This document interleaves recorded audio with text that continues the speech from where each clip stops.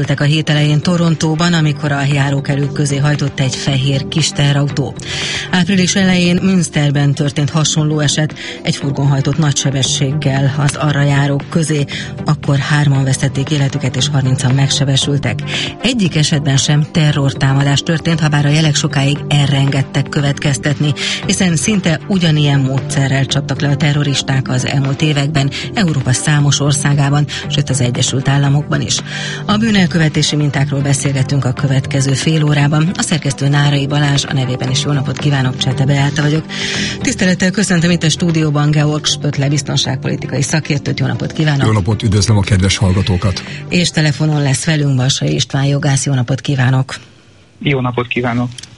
No, öm, próbáltam utána nézni, hogy az elmúlt években hányszor, hány alkalommal, és tulajdonképpen 2004-ig visszamenőleg, hát legalább 10 10-12 alkalmat lehet találni arra vonatkozóan, amikor ilyen jellegű bűncselekmény ö, történt. Mi, hogyha akár csak a terroristákat nézzük, akár pedig ö, nem a terrorista bűnelkövetőket, akkor mi az, ami miatt ö, hát most nem, tudom, hogy nem ez a legjobb szó, de mi az, ami miatt ilyen népszerű a körükben ez a gázolásos merénylet? Ennek ugye két oka van. Az egyik az, hogy nagyon nehéz hozzájutni bizonyos országokhoz lőfegyverhez. Ugye például Nagy-Britanniában ott vannak Európa legszigorúbb fegyvertartási jogszabályai. Ezen felül, ha valaki mondjuk ha legális is vagy, vagy nem rendelkezik állampolgári státusszal, de olyan bevándorló, nem kaphat lőfegyvert ugye a legtöbb nyugat-európai országban, ez szerintem vonatkozik Magyarországra és Németországra is. Tehát ki kell választani egy olyan e, eszközt a tethez, ami viszonylag könnyen beszerezhető. Másik viszont oké, alkalmazhatnának például kést is, de ugyannak megint más, tehát amikor közvetlen kontaktusom van az áldozatommal, tehát megszúrom, vére kifolyik, tehát ezt most nem akarom ecsetelni itt a hallgatók miatt, de az, az megint egy olyan különleges pszichés beállítottság kell, hogy valaki ezzel hajtson végre egy bűncselekményt. Az autó viszont ugye bérlek van, sajátom, ellopom, tehát nagyon könnyű hozzájutni, tudok vele gyilkolni, de nem érzem mégis az ölésnek konkrétan azt az érzését, vagy élményét, hogyha mondjuk egy késsel szúróvágó eszközzel hajtom ezt végre. Hú, milyen érdekeseket mondott, innen folytatjuk. Van egy bejátszásunk, amiben Nárai Balázs egy kicsit részletesebben összefoglalta az általam itt a mm, megköszönőben elmondott tényeket. Hallgassuk ezt meg, és akkor innen folytatjuk. In Münster ist ein Fahrzeug in eine Menschenmenge gefahren. Két ember meghalt, majd a tettes magával is végzett a németországi Münsterben. Tíz embert gázolt halálra szándékosan egy férfi Torontóban. Esetek és híranyagok az elmúlt hetekből, a közös bennük, hogy az iszlamista terroristák elmúlt években megszokott módszerét vették át. Ám nem szervezett terrorcselekmény, hanem pszichés zavar állt a háttérben. A német és kanadai hatóságok első feladata a tragikus események után az volt, hogy a tettesek terrorcsoporthoz fűződő viszonyát tisztázzák. A németországi tettes, a 48 éves Jens R. tettének elkövetése előtt egy héttel felkereste a Münsteri Szociálpszichológiai Szolgálatot, ahol egy általa írott dokumentumot is átadott. Ennek pontos tartalma nem ismert. A férfi tette előtt fegyvert vásárolt. A hatóságok ennek körülményei eredményeit is vizsgálják, tekintve, hogy nem rendelkezett fegyvertartási engedéllyel. Torontóban múlt hétvégén döntött úgy egy zavart elmélyű 25 éves férfi, hogy furgont bérel, amivel aztán tömegbe hajtott. Alec Minassian Torontó egyik elővárosában élt. A hírek szerint semmi köze terrorszervezethez, lelkibetegségre utalnak közösségi médiában posztolt megjegyzései. A férfi három kilométeren keresztül hajtott a furgonnal Torontó zsúfolt belvárosában. Amatőr videófelvételek szerint a férfi hosszasan provokálta a rendőröket, mielőtt elfogták volna. Minassian Messient korábbi iskolatársai zárkozott, csendes emberként írták le. A közösségi médiában a közelmúltban azt a többszörös gyilkos amerikai férfit említette jó példaként, aki az őt visszautasító nők elpusztítását tartotta kívánatosnak. Minassian jelenleg rendőrségi őrizetben van. Érdekes kérdés az, hogy az ilyenkor aktuális hát bűnelkövetési trendeket, nevezzük most ennek a, ugye itt a gázolásos merényletekről beszélünk, ezeket el lehet-e vonatkoztatni a világpolitikai kérdésektől, vagy magától a terrorizmustól? Mert hát azért ugye ebben az esetben is azt látjuk, hogy ugyanolyan módszert használt az egyébként nem terrorista elkövető, mint a terroristák az elmúlt években Európában. Hát ezt most puta német szófordulattal úgy válaszolhatom meg, hogy jáin, tehát igenis, meg nem is. El lehet vonatkoztatni, hiszen nem egy terrorcselekmény történt. Viszont mégsem lehet teljesen, mert ugye másolta a terroristáknak a, a modus operandiát, ami, ami nagyon egyszerű, ugye egy gépjármű kell hozzá, és akkor megölhetek igazából bárkit tetszés szerint. Tehát ez mindenképpen benne van. Van még ennek ugye más pszichológiai vetülete is például, hogy lehet, hogy ez az ember szerintem nagy valószínűséggel meg, meg akart halni. Tehát egy kiterjesztett öngyilkossági kísérletnek is nevezhetjük, ugye egy fegyvernek látszó tárgyat rántott elő, ráhúzta ugye a kiérkező rendőrjárőre, és mondta, hogy fegyver van nálam, lőjél fejbe. Igen, ugye a videón azt lehetett látni, hogy nem használja tulajdonképpen azt a valamit, ami a kezében van, de ezt nem lehetett pontosan látni. Nem lehetett, mert különben ha ez az Egyesült Államokban történik, ugye a határ déli oldalán, akkor nyilván egy egész tárat kopott volna egy másodperc leforgás alatt. Itt azonban nem nyilvánvaló körültekintő rendőr látta, hogy nem egy valós lőfegyverről van szó. Tehát ezt nagyon sokszor csinálják, különösképpen az Egyesült Államokban, hogy valaki kiterjesztett öngyilkosságot hajt végre, mondjuk kirúgják a munkahelyéről, bemegy lelövi a főnökét, meg egy-két embert, akit nem kedvelt a cégnél, utána kimegy az utcára, várja, hogy jöjjenek a rendőrök, és kirohan az épületből a fegyvereket a rendőrökre szegezve. Ezt hívják úgy, hogy suicide by cops, tehát öngyilkosság rendőrök által a szakzsargomba. Tehát azt akarja, hogy ő is halljon meg, gyáva az, hogy az önkezével vesse magának az életének véget, és valószínűleg ez a fiatal ember is ezt akarta. Igen, nagyon érdekes, hogy ilyenkor mi a fontos egyébként a, a bűnelkövetőnek, mi a tapasztalat, kérdezem Balsai István jogászt, az, hogy kárt okozzon alapvetően saját magának, kárt okozzon másnak, öljön, vagy egész egyszerűen csak felhívja magára a figyelmet? Alapvetően biztonsági kérdés, jogi megközelítésből nézve akár az ilyen cselekedeteket is terrorcselekménynek lehet minősíteni. Az, hogy mi az elkövető szándéka vagy célzata, az alapvetően befolyásolja egyébként a bűncselekménynek a jogi megítélését. Ugye a terrorizmusnak, illetve a terrorcselekménynek, mint bűncselekménynek a meghatározása, az mind nemzetközi, mind az egyes nemzeti szinteken teljesen eltérő abban van egyetértés, ha összehasonlítjuk a különböző nemzeti szabályozásokat, hogy kell valamilyen súlyos alapcselekmény, alapbűncselekmény, aminek az elkövetése szükséges a terrorcselekmény megvalósításához, és ezt követően egy olyan célzatra van szükség, vagy ezzel együtt egy olyan célzatra van szükség, ami kiemeli az alapbűncselekmény köréből a, az elkövető által végrehajtott magatartást, és terrorcselekményé minősíti. Ebben az esetben, amit itt szakértő úr az előbb utalt, például a magyar szabályozás alapján megállapítható lenne a terrorcselekmény elkövetése, ugyanis a magyar büntető törvénykönyv szerint azok a szándékos bűncselekmények, amelyeket abból a célból követnek el, hogy a lakosságot komolyan megfélemlítsék, és ezzel összefüggésben valamilyen dolog vagy személy elleni meghatározott erőszakos magatartást ö, tanúsítanak, azok esetében megállapítható a terrorcselekmény elkövetése. Hogyan terjednek ezek a minták? Már csak azért is kérdezem ezt, mert ebben az esetben is bebizonyosodott ugye itt Torontóban, hogy az elkövetőnek komoly pszichés problémái voltak. Ugye többen jellemezték úgy, hogy az utcán egyébként lehajtott fejjel közlekedett és nyávogó hangokat adott ki, tehát hogy, hogy valami azért nem stimmelt nála, ezt lehetett tudni. Igen, egy nagyon érdekes személyisége van ennek a fiatal embernek, hogy utána olvastam még a kanadai lapokban is. Tagja volt egy Facebook csoportnak, aminek az volt a neve, hogy nem önkéntes szüzek. És ebbe általában olyan fiatal emberek, ilyen 20 és 40 között tartoztak, akiket a lányok, nők elutasítottak.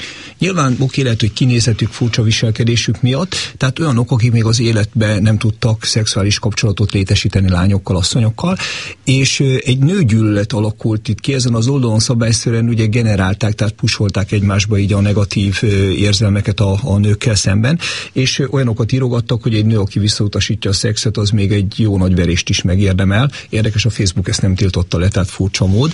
De tehát ez volt neki az egyik legfőbb problémája, és igazából, ahogy egy ilyen kicsit titkosított, de mégis nagyon könnyen visszafejthető Facebook üzenetet, az utolsó üzenetét a tett végrehajtása előtt kiposztolt. Abból lehet látni, hogy ő egy hú, most nem akarok butaságot mondani, talán 2004-es vagy, vagy 14-es valamik egy gázolásos esetet hozott fel, hogy ő is ezt akarja most visz, végrehajtani, csak ugye sajnos ezt már a tett végrehajtása után e, tudták a nyomozó hatóságok visszafejteni, illetve akkor szembesültek ezzel. Tehát nyilván készült, és ugye e, mi így szaksorgom a copycatnek hívjuk, tehát ilyen másolónak azt, aki ugye lát, hal egy bizonyos bűncselekmény formáról, és akkor ezt ő lemásolja. De úgy terjednek ezek a minták, hogy azt mondja, hogy ez ez néhány országban, ugye Európában, hogyha Nagy-Britanniáról beszélünk, Németországról, Franciaországról, Spanyolországról, azt mondja, hogy ez ott sikeres volt, akkor ezt én is meg tudom tenni? Nyilvánvaló, természetesen igen. Vagy az is lehet, hogy nem csak a sikeresség, hanem tetszik neki. Tehát ugye mikor az ember végrehajt valamit, bármit, legyen pozitív, negatív dolog, azért azt úgy, úgy pszichésen lemodellezem, hogy milyen, milyen lesz, mit én kiugrok a repülőgépből, milyen, milyen érzés lehet majd az zuhanás, mondjuk az első ugrás előtt és akkor nyilván ezt, hogy, hogy milyen, milyen módon őjek mondjuk, tehát, és akkor le, lemodellezte, beugrott neki, ezt látta a tévében, ugye az a baj hát a globalizációval, hogy szinte real time látunk már mindent, megtörténik egy terrorcselekmény, 5 másodperc múlva jön CNN Breaking News, és már, már láthatjuk igazából, és ez valamiért megtetszett neki, tehát vagy a személyiséghez közel állt ez a dolog, tudta, hogy itt több embert tud gyilkolni, valószínűleg ugye cikcakba ment, és csak nőket ütött el, tehát nagyon érdekes volt így, ahogy hogy végrehajtott ezt a cselekményt. Úgyhogy valami miatt ez, ez volt neki a szimpatikusabb, ezért nem mondjuk szúróvágó fegyvert, vagy más hasonló alkalmatosságot választott ki a gyilkolásra. Milyen büntető politika a megfelelő, van -e egyáltalán megfelelő büntető politika, vagy büntetési tétel egyáltalán ilyen esetekben? Balsa István. A terrorcselekménynek a büntetési tétele az a egyes nemzeti szabályozások esetén mindig a lehető legmagasabb szokott lenni. Például a magyar szabályozás szerint életfogytig, akár tényleges életfogytig tartó szabadságvesztéssel is büntetendőek a legsúlyosabb terrorcselekmények. A büntetőjog az mindig két-három lépéssel csak követi a társadalmi fejlődést, illetve a, a bűnelkövetés fejlődését, az mindig csak utólag reagál, utólag tud reagálni a természetéből fakadóan arra, eh, ahogy a társadalomban a bűnelkövetési formák változnak. Eh, azt minden esetre láthatjuk, hogy az elmúlt 40 évben a szabályozás az fokozatosan szigorodott.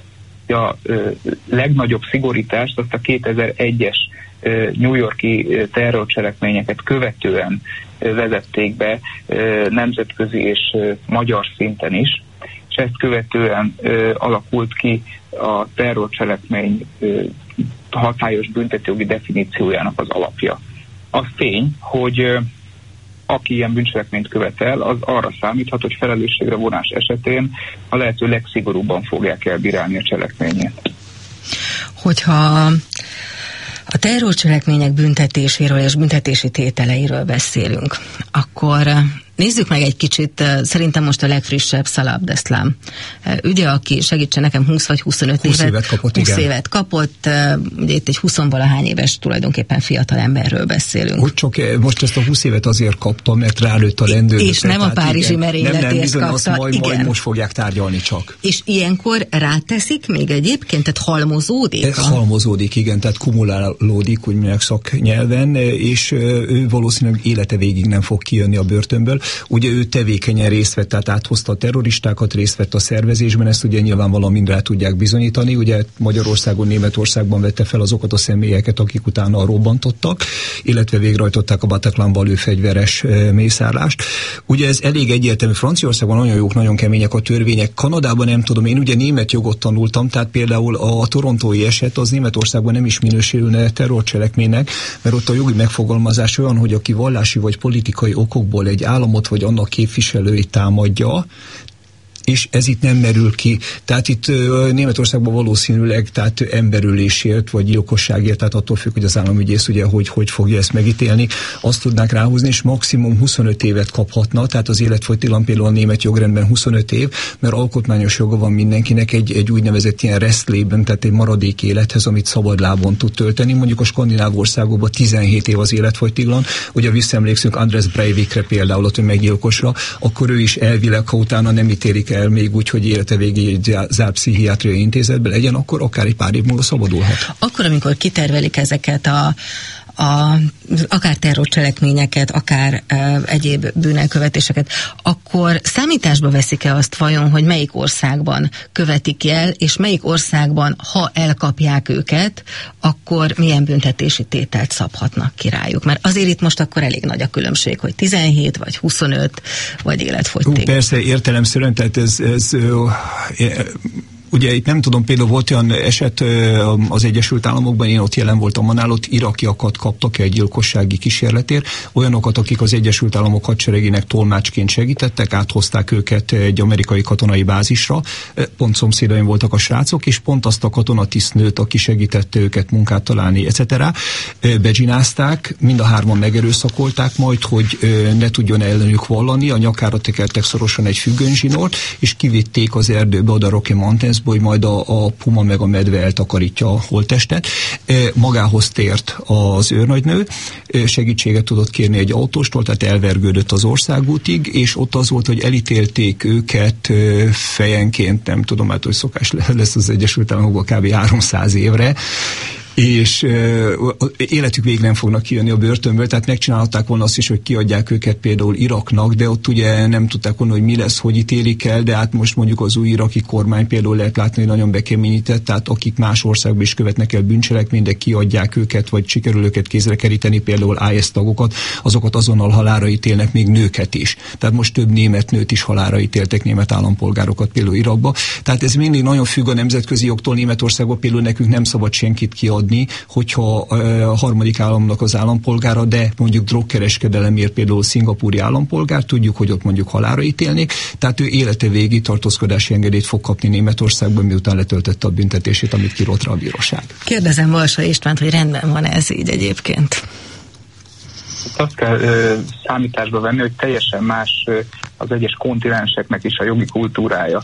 Teljesen más az európai jogi kultúra, az európai ö, emberi jogi felfogás, teljesen más ez az Egyesült Államokban. Elég, ha csak a legeklatánsabb példára a halálbüntetés ö, megítélésére gondolunk, és ehhez képest még mindig teljesen más ö, az a jogi kultúra, ami Ázsiában van, és még azon belül is különbséget lehet tenni a Spötle úr által említett Dél-Kelet-Ázsia, valamint az arab félsziget államai között.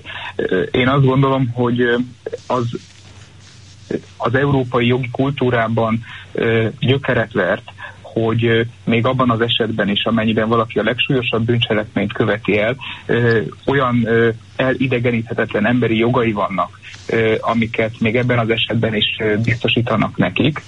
Ez egyrészt jelentkezik abban, hogy tisztességes eljárást kell kapnia, ugyanúgy, mint bármelyik tyúktolvajnak, valamint a büntetését olyan humánus körülmények között kell letöltenie, ami valóban az átlag állampolgárok, átlag emberek számára a társadalmi igazság érzetekkel szembe megy. Erre a legjobb példa a Breivik féle ügy, ahol tulajdonképpen érdemben tárgyalta a bíróság azt az esetet, amikor ő kifogásolta, hogy nem kap elég szórakozási lehetőséget a büntetés végrehajtási intézetben. És ezzel érdemben foglalkozott a Norvég Bíróság. Ügyvéd úr, van-e különbség a büntetési tételek kiszabásában abban az esetben, amikor valaki terroristaként, vagy hát most nevezzük úgy, szimplán köztörvényes bűnözőként követel mondjuk egy ugyanolyan vagy egy hasonló bűncselekményt, lásd gázolásos bűncselekmény? Ugye, ha például a gázolásos bűncselekménynél maradunk, akkor nem biztos, hogy lesz különbség a kiszabható büntetés nagyságában, mert a terrorista szándék, vagy a terrorista célzat nélkül is a több ember sérelmére elkövetett emberölést, azt minden jogrendszer a lehető legszigorúbban bünteti, hiszen minden egyes büntető jogrendszernek a csúcsán az emberi élet szándékos kioltása áll. Tehát ebből a szempontból az ügynek a minősítése az tulajdonképpen csak egy jogi vita, hogy megállapítható-e az elkövető esetében a terrorista szándék, a terrorista célzat, vagy idézőjelben véve csak emberölési szándéka volt. Minden valószínűség szerint ugyanazt a büntetést kapná mind a két esetben. Ugye nem csak a, a terrorcselekményeknél, de a köztörvényes bűnek követőknél is megvannak már azok a trendek, ugye, amikről itt a, a műsor elején is beszéltünk. Hogyan lehet ezeknek gátat szabni? A hatóságok kezébe egyáltalán van-e bármilyen eszköz, hogy ezeket megakadályozza? Hát ugye nagyon kevés a terrorizmusnál, ott egy kicsit, hát most furán hangzik jobb a helyzet, ugye azért ott vannak a különböző szakszolgálatok, ott van a rendőrség, tehát meg lehet valakit figyelni, tehát fokozottan, akár humán erővel, akár elektronikai megfigyeléssel, hogyha tudják mondjuk egy veszélyeztetőről van szó, aki bármelyik pillanatban átfordulhat úgy, hogy konkrétan végrehajt egy terrorcselekményt, tehát nem csak szimpatizál mondjuk egy terrorcsoporttal, viszont aki ugye pszichésen beteg, labilis, ott, ott nem nagyon tudunk semmit csinálni. Tehát volt szerencsére egy-két eset, ugye utóbbi időben itt Magyarországon, amikor diáktársai hívják fel mondjuk a, a szüleiket, iskolaigazgatót, hogy olyas, olyanokat posztol a Facebookon, vagy olyanokat mondott, hogy készül valamire, tehát ez a jó eset, amikor meg lehet ezt gátolni, vagy ugye a Pécsi Egyetemistánál a fiatal ember szintén, nem tudom, 20 valány elfuserált tévére, ennyi embert akar megölni egy plázában. Tehát jó, amikor ez kiderül, de alapjáraton nagyon-nagyon nehéz, ugye, hogyha rendőrségnek valaki jelent valamit, hogy, hogy, hogy pszichés problémái vannak, labilis, fenyegetőzik, ugye ez mindig olyan, amíg nem történik konkrét dolog, a rendőrség nem nagyon tud mit tenni. Tehát nem, nem túl jó a tendencia ebbe, de hát a, a jogállamot éppen ez, ez is jellemzi, tehát most nem fognak valakit elkapni és bezárni mondjuk az elmegyógyintézetbe csak azért, mert azt mondta, hogy fú, olyan rossz napon van, most meg tudnék ölni valakit, mert akkor engem is már azt hiszem, én is megkapnám a 300 évemet valahol, Szent úgyhogy e, igazából nagyon nehéz, tehát csak azt mondom, terrorizmusnál ott oda lehet rá figyelni, de hogyha tényleg ilyen pszichésen labilis fiatal emberekről van szó, ott, ott sajnos nem. Az elrettentés az ilyenkor működőképes lehet? Nyilván elrettentő hatása van a büntetésnek, aki esetleg még mondjuk hasonló cselekményben gondolkozik, és lásson, látja mondjuk, hogy elkapták például ezt a grúz fiatalembert, és mondjuk tényleg életfogytilag büntetés fog kapni a kanadai bíróságtól, akkor esetleg átgondolja, hogy úristen, most vagyok mondjuk 22, 50 éves koromig mondjuk rács mögött kell lennem, megéri. Tehát ilyen esetleg van, de aki tényleg már annyira elszállja magát, és, és lelkileg annyira labilis, hogy minden áron ölni akar, tehát ott, ott nincs, vagy, vagy egy szociopata személyiség például, munkáj, tehát ott nincs erre. Munkája pályája során találkozott már olyannal, aki mondjuk egy másik bűncselekményért lebukott, de lett volna más, és azt mondta, hogy hát azért nem, mert hogy ennek a büntetési tétele sok. Szóval van ilyen?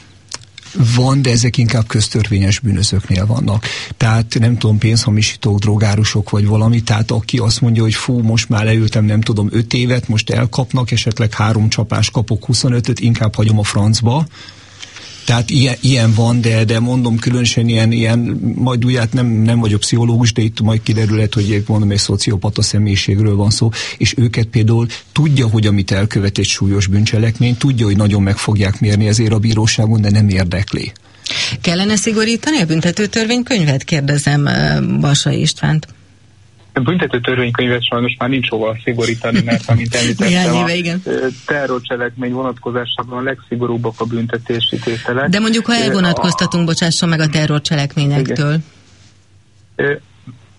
Alapvető kriminológiai, illetve kriminalisztikai axióma, hogy nem a bűncselekmény büntetési tétele az, aminek elrettentő hatása van az elkövetőkre nézve, hanem sokkal inkább az, amennyiben ö, tudja, hogy ténylegesen rövid időn belül el fogják kapni, és rövid időn belül bíróság elé állítják, és el is ítélik.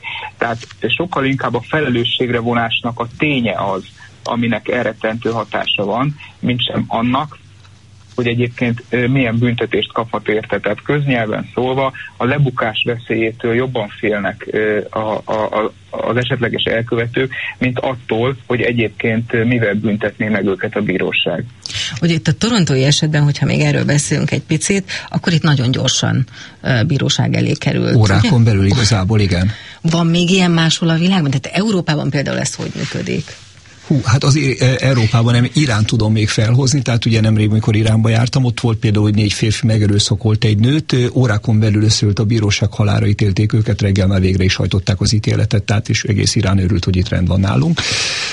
Ugye Európában ez nem, tehát hogy belegondolok például német esetekbe, tehát olyan személyek, például terrorgyanús személyek, fegyverkereskedők, akiket én őrizetbe vettem, volt olyan, hogy másfél-két év volt az előkészítés a tárgyalásnak, ugye amíg az államügyészség összeszedett mindent, ugye akribikus pontosan, tehát ki kellett elemezni minden nyomot, minden tanúvallomást, a saját rendőrségi megfigyelésünket, titkosszolgálati adatokat, akkor ugye a, jött az ügyvéd, tehát, tehát egész ilyen, ilyen minimum másfél év volt, tehát ezt tudom mondani úgy, úgy egy ilyen nagyobb bűncselekménynek az előkészítése, mielőtt valóban bíróságra került. Ez nagyon rossz volt, mert mi mondjuk elfogó szervek, rengeteget dolgoztunk, és elfelejtettünk dolgokat. Tehát mikor kaptunk egy idézés, hogy Dresdában, mert nem tudom, Abdul Hamid ott árult Kalasnyikovot, és úristen ki is volt ez a 80 közül. Tehát sajnos, sajnos nagyon hosszú idő. És az alatt a másfél év alatt mi történik ott? Tehát, hogy akkor még nem kerül a megfelelő büntetés végrehajtási intézetbe, Előzetesben hanem van, van amit igen, amit meg, igen. meghosszabbítanak. Mm-hmm. Gyakran volt olyan, hogy még kap kaptunk az államügyésítől, visszakaptuk például az aktát, mert kellett nekik még, tehát újra ki kellett hallgatni, volt, hogy előzetesbe be kellett menni kihallgatni még a delikvenst,